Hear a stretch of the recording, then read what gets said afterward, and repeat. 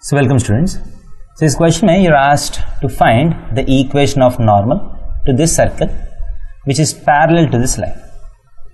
So the circle is x square plus y square minus 2x is equal to 0.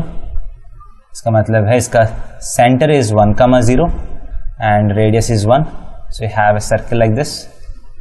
So I want a normal to this circle which is parallel to x plus 2y is equal to 3 that is x plus 2y is equal to 3 x intercept is 3 y intercept is 1.5 मान लीजिए ऐसा एक line है so have a line like this I want a normal to this circle which is parallel to this line again आपका theory is in a circle the normal always passes through the center of the circle so if this is the line x plus 2y is equal to 3 any line parallel to this line आपको you want this line which is parallel to this line and normal to the circle normal to the circle always pass through the center center से जो भी line जाएगा that is normal so effectively you want this line so इस line का भी form जो है वो देखने में you have x plus 2y is equal to k so any line parallel to x plus 2y is equal to 3 is of the form x plus 2y is equal to k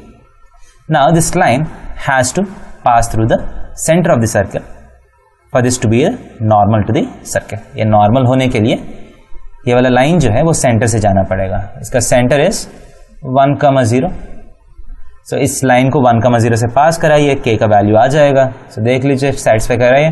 So you have one plus zero is equal to K so K is equal to one होना चाहिए।